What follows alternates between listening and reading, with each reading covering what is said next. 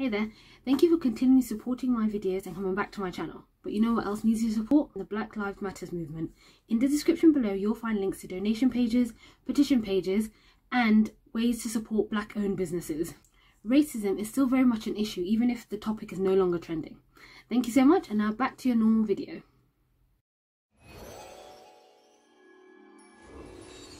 Hi there and welcome back to my channel, down to the last page. Now today's video is going to be on my very first 24 hour readathon and not just any old readathon, it's the BookTube Squad readathon. Sorry, I, I, I, don't know why I did that. I really wanted to use the sound effect. It's the BookTube Hype Squad 24 hour readathon and just as the name suggests, I'm part of a group, a Twitter group called the BookTube Hype Squad and um, within our group we hype each other, we help um, with each other's videos, we sort of bounce ideas off one another and in other words just enjoying and getting involved in book-like content. For various reasons and obviously the unfortunate impact of COVID-19, um, a lot of the people in the group are going back to either work or school and just as a last hurrah we decided to put on our own 24 hour readathon. So we never had a particular theme or um, topic for the readathon so I already picked my um, TBR for the readathon and I'll be reading the series Classroom of the Elite by Shōgo Kinugasa. The series already is, is currently ongoing and has about 11 plus um, volumes or 11 plus books currently and there has been an anime created with, with the same name that covers the first three volumes, the first three books. So I have seen the anime, which is fantastic, and I have read a volume just to see if it all lines up, which it has. And for this readathon, I will be starting from volume four. Um, the other thing is that the volumes don't just go one, two, three, four, five. There's four, and then the next one's 4.5. There are some half volumes that are involved. So um, what I hope to do is, and I think this is quite ambitious, is read about four, five of the volumes, if not all of them, in the series, um, to be able to complete it for this readathon.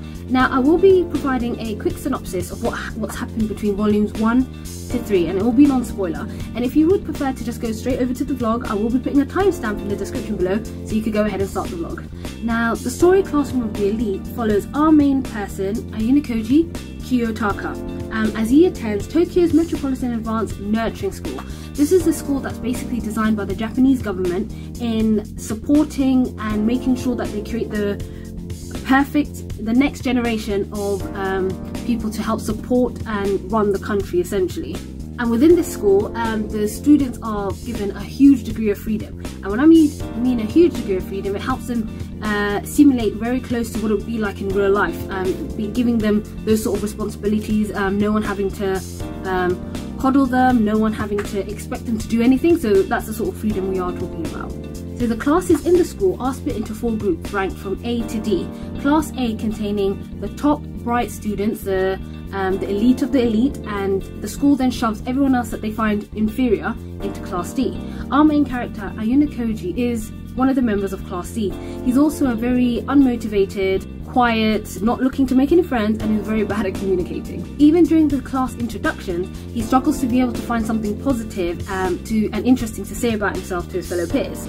We also meet two other characters in Class D who play a big part in um, Ayanokoji's school life, which are Horikita Suzune and Kushida Kikyō. Now, Horikita is a very standoffish person, uh, she's very hostile, not looking to make any friends, and then you've got Kushida, who wants to make friends with the whole class, complete opposite of Horikita. After the class introductions are done, the students find out the basic rules and uh, basic premise of the school. And on top of that, they also find out that they are awarded points at the beginning of every month. These points can be changed into currency, and there's also no restriction on what they can spend these points on. The school itself is elite not only by name but elite by nature. You could find anything you possibly can on this campus. We're talking cinemas, entertainment outlets, shopping outlets, cafes, um, convenience stores, uh, gaming stuff, anything you name it. And again, like I mentioned, the kids are given such a certain degree that they could use their points anywhere. But not only that, because they're not coddled, they're not expected to even turn up to class, the kids could be sitting in class, they could not even be paying attention, they could be talking, and whereas the teacher just carries on as if nothing's going on. So the kids are literally put in an environment where all their choices is down to them and no one's telling them what to do. The kids go ahead and enjoy the schools of the school. Um, not only that, they also enjoy the fact that there's no one, there's no rules implied and pushed on them. Um, in the assurance that they'll get their points topped up at the beginning of the month. But there were two things that they had missed out. One, the basis of how the points are collected, and two, how you can actually lose points. It's a trap! It slowly dawns on Class D that their time at the school will be a battle of class supremacy between the four classes, and being already in Class D puts them at an automatic disadvantage. However, through hard work and scoring high on tests and the general um, tests that the school administers to the classes, Class D can earn points back and eventually claw their way up to Class A status as each individual's performance does go to the overall points of the class. So Ayanokoji and Horikita spend the whole of the first term making sure their classmates survive and, and no one gets expelled. Horikita herself does have her own goal as she's trying to make her way up to Class A status, believing that it was a disservice to her being put in Class D in the first place. As we get to Volume 3, Book 3, we get into summer break and the whole school is taken on an all expense paid cruise. However, the pleasantries don't last long as the school administers their first official task to the classes. They're all dropped off on an island and are expected to survive over a certain period of days, and each class is allocated a certain amount of points. Now, this could be spent on anything. It could be anything from camping equipment, tents, water, um, to also luxurious items. Each class is given the option to spend their points on whatever they want. Each class also has to pick a team captain slash leader and they also need to keep the identity of their team captain secret from the other classes. And in doing so, we'll try and find out the other selected captains of the other respective classes. This means they could also lose or gain points depending on if they identify the correct team captain from each class. Class D had many obstacles to overcome. Not only did they have the task at hand, they also had to be very cautious of the other classes, and there was also a rising tension within their own group. Once the island task comes to a conclusion, there are some surprising winners and losers, but what's more surprising is that Koji states that it was solely Horikita who not only devised but orchestrated Class D's plan, which ended up with the result that Class D received at the end. This puts Horikita in good favour with the rest of Class D. Horikita, who started off being quite hostile towards Ayanokoji, starts warming up to him, believing that this is coming from a place of sincerity. However, we do find out that Ayanokoji has his own ulterior motives. It's a trap! One thing I did forget to mention was during the first term, Ayanokoji and Horikita do come to blows with the representative of Class C, Ryuen Kakeru, and he's definitely out to get his own back on the pair. And I know I never mentioned much of um, Kushida, however, there are certain things that do prop up um, within volumes 1 and 2, and we do also find out she's not as innocent as she seems. Now, that was my synopsis of Classroom of the Elite, volumes 1 to 3. On to the vlog. Morning, everyone. It's the morning of the readathon. Um, so it's currently, what did that say? 8.28 in the morning so Gonna go get myself uh, set up get ready and start about 9 a.m. this morning. So just check out my attire for today. My t-shirt it just says don't know if you can see it. That's what I do. I read books I drink coffee and I know things. So I thought this was appropriate attire. Uh, I'll leave um, details in the description below about where I got my t-shirt from. I've also got other ones like similar like this book related sort of t-shirts which are quite funky and you'll be seeing them over the course of the next 24 hours. So this is the first one. I most likely will be drinking a lot of coffee so. Back start, I'm ready. I did get my glasses. Um, my tablet ready, reading, trying to read it is about 10 plus volumes of um, Classroom of the Elite. I had already started reading this before. There is an anime, there's an anime adaptation from the light novels, which I've already seen the anime, but I did also want to go through those volumes and they cover volumes 1 to 3. So I'll be starting with volume 4. Um, and they've also got half volumes, so volume 4 then 4.5. Um, and again, I think it's about 10 plus volumes. It's hitting about 11. Currently, the series is ongoing keep me busy. So yes, uh, stay tuned. I will be in a minute. I'm just gonna go grab my um, coffee. Um, I've also got some food, so and I've got plenty of snacks and stuff. This is my first uh, setup of the day. I'm sort of just sitting on the floor, there's like a little sofa thing behind me, but I prefer to just sit on the floor. And um, I've got the garden door open right in front of me to get some air because I probably need a lot of air. Stop me suffocating in here. And it's ridiculously warm in the UK. I'm not sure how it's like um, everywhere else in the world. So here it is. I'm about to start um, volume 4, Classroom of the Elite. Story by Shōgo Kinugasa. So yes, I've got my, my coffee, my food's here. Uh, first cup of coffee of the day.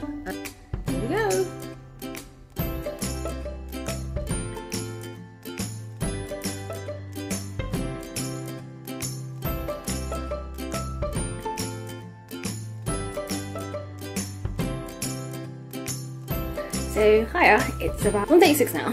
Um, I've been going since 9 o'clock. I'm currently getting some food ready. I needed to get up after a while.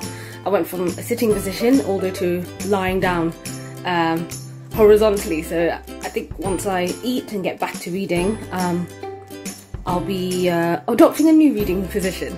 So uh, the book's good so far. Kids have been set a new task, so everyone's got a new task now, but this one's a little bit different to the last one on the um, island. It's no longer class versus class, it's more of um, everyone's kind of been mixed, so I think it's based more on how cooperative they are. Very interesting because um, so our three main uh, kids, Ayanokoji, Horikita and Kushida have been they're no longer on the same team. I think um, Kushida and Horikita on the same team, but Ayanokoji's been put on another team. But it's not just him being put on another team, all the classes have been mixed. So it's actually quite interesting since the whole premise of the story was the ability for, as a class, for them to beat the other classes. Now they have to work essentially with the enemy. So it's actually quite interesting. And the class, one of the class representatives from class C, Ryuen, who has his doubts about Horikita, um, he feels that the results of what happened on the island weren't completely hers. And I think he has his um, doubts about what had happened. Of course, this is non-spoiler, so I don't want to talk about the big major things that happened. However, he's onto her. He feels like there's another person that's pulling the strings within Class D. Um, and yeah, I'll be quite interested to see how this goes. All everyone's sort of discussing. Obviously, Ayanokoji and Horikita are still meeting up to sort of plan a strategy. At the end of the day, they're still gonna try and work a way to get the best outcome for obviously Class D. But obviously, keeping in mind they're also working with other kids from the other classes. So this will be interesting to see how this turns out. Hi everyone, um, lunch is now over, so I'm gonna head back into it to um, get myself kicked, kicked off. Started off with the afternoon.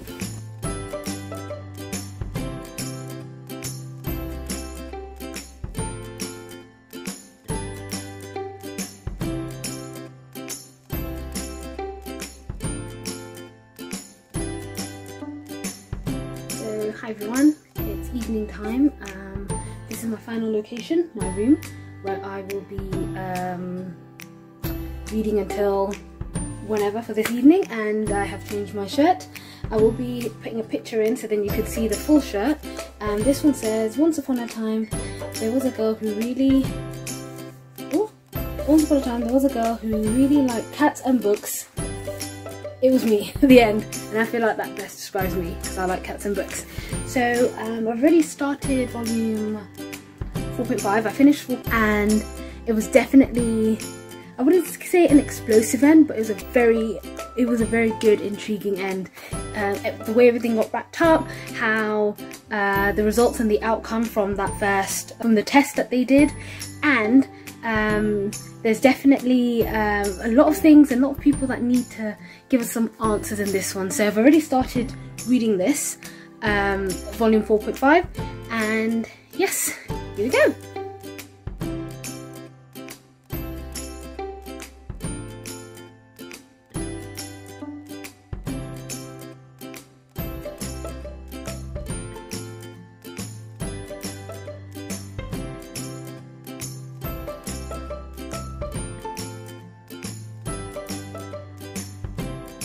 So morning, this is Sunday morning, day two, well the other half of the 24 hour vlog. It's about, it's just gone 7.30, so I've got about an hour and a half left. Um, I was up until about just after 2 this morning, last night this morning, just to um, get as much reading in. So I don't have that long left, and I don't have actually a lot of um, chapters left for um, the last volume, 4.5. So that's the only volume I got up to, and yeah, here we go. We're literally in the final countdown. Oh, and I am wearing a new t-shirt this morning. It says, I will never own enough books and I will again leave links to all of these in the description um, and I'll put in a better, because it's inverted right now, I'll put in a better picture of this um, in the video.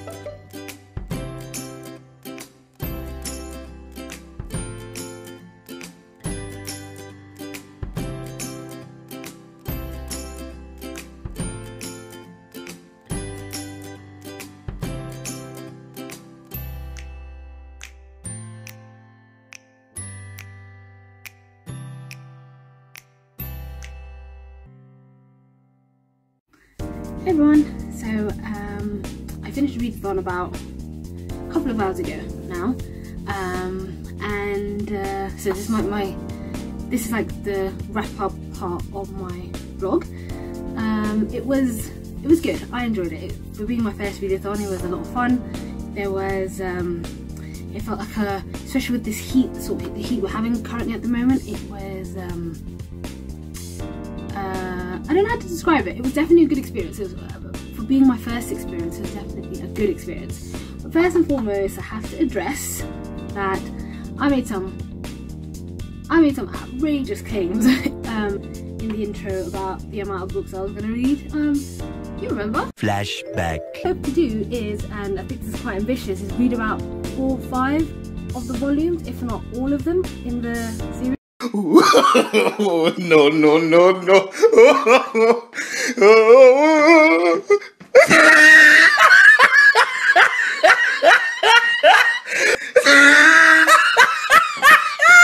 so that wasn't the case. I only got through two volumes, uh, volume 4 and volume 4.5.